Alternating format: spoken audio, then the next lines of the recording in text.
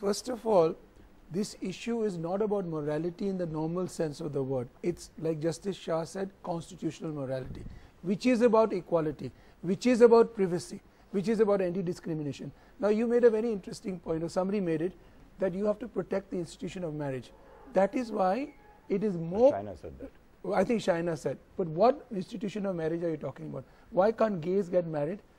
Are you going to allow gays to have marriage outside sex, which is actually immoral according to Christianity? So that's why I advocate that if you really want to have a morality which is equal and constitutional, there is no harm in actually allowing gays to get married. But the first issue is decre- That's a just, another debate. no, First the criminalization, then the morality, and then the gay marriage, which is still a big argument. No, no, in no, one minute, just let me say.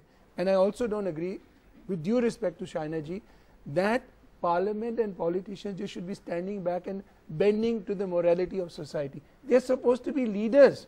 They are supposed to be visionaries. They are supposed to lead society. If, if the present prime minister is leading society in one way, say economically, what, what actually prevents him from leading on the front on this issue?